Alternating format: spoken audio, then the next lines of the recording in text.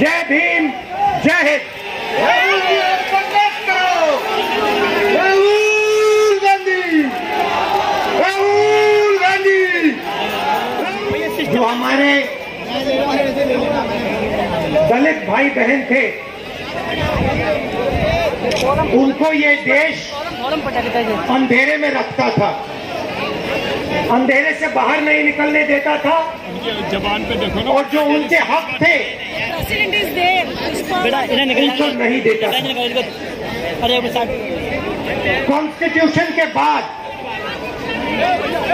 दलितों का जो हक है उनको मिला।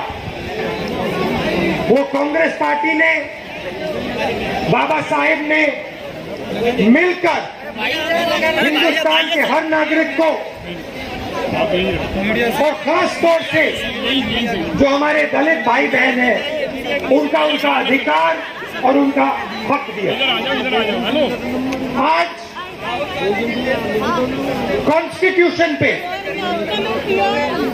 संविधान पर नरेंद्र मोदी आरएसएस और उनके चार पाँच उद्योगपति मित्र कर रहे हैं। जहाँ भी आप देखिए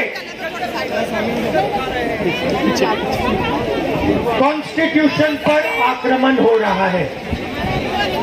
पार्लियामेंट में हम किसानों की बात उठाएँ दलितों की बात उठाएँ पिछड़ों की बात उठाएँ महिलाओं की बात करें सिस्टम में रोके हुए सब बंद हो जाएगा पार्लियामेंट में हमें बात करने नहीं देते हैं। कल राज्यसभा में पहली बार इतिहास में पहली बार इस देश की हिस्ट्री में सांसदों को मारा गया धकेला गया पीटा गया। Same same same Narendra Modi किसानों पर अत्याचार करते हैं जो उनका है उनसे छीनते हैं और फिर किसानों को कहते हैं तुम देशद्रोही हो तुम खालिस्तानी हो। चौकीदार कौन है। चौकीदार चोर है। नरेंद्र मोदी नोटबंदी की जीएसटी लागू की। इस देश की जो रीढ़ की हड्डी है दादा थोड़ा साइड स्मॉल और मीडियम बिज़नेस वाले जो देश को रोज़गार देते हैं उनको खत्म कर दिया उनको नष्ट कर दिया उनकी ज़िंदगी बर्बाद कर दी कोरोना के समय जिंदाबाद हमने कहा, जनता को डायरेक्ट का पैसा दीजिए। स्मॉल मीडियम बिजनेसेस की मदद कीजिए। मगर नहीं नरेंद्र मोदी जी ने सिर्फ़ अपने तीन चार उद्योगपतियों मित्रों को पैसा दिया बाकियों को कुछ नहीं दिया। यहाँ डरने की ज़रूरत मीडिया की बात करता हूँ। सिस्टम बंद हो मैं कहता हूँ ये हमारे मित्र हैं हर मीटिंग में कहता हूँ हमारे मित्र हैं। मगर जो हमारे मित्र हैं वो देश का काम नहीं कर रहे हैं। वो दो तीन उद्योगपतियों का नरेंद्र मोदी का और आरएसएस का काम कर रहे हैं। मगर भाई और बहनों, देखिए, ये देश बहुत समझ रहा है। देश की जनता को सब कुछ समझ आ रही है। और आस्ते आस्ते देश में, दलितों में, गरीबों में, किसान, किसानों में, मजदूरों में एक आवाज़ आपको सुनाई देगी। और वो आवाज़ आस्ते आस्ते आस्ते आस्ते बढ़ती जाएगी। और फिर एक दिन वो आवाज़ एक तूफ़ान बन जाएगी और वो तूफ़ान नरेंद्र मोदी को प्रधानमंत्री के घर से उठा के बाहर फेंक देगा।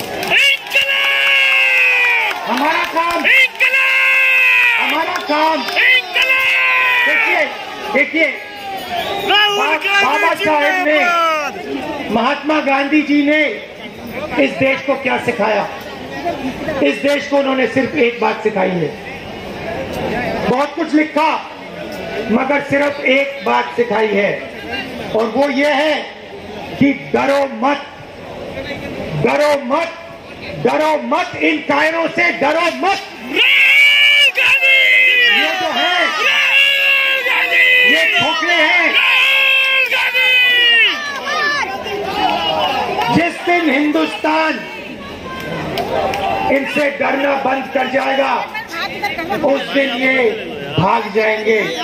ये दिखाई नहीं देंगे। हमारा काम, कांग्रेस पार्टी का काम S C S T department का काम, यूथ कांग्रेस, एनएसयूआई का काम, हिंदुस्तान को सिर्फ़ ये याद दिलाना। कि हिंदुस्तान का व्यक्ति हिंदुस्तान का आदमी डरता नहीं है, किसी भी शक्ति से नहीं डरता है और किसी भी शक्ति के सामने खड़ा हो सकता है। बहुत बहुत धन्यवाद। जय भीम, जय हिंद।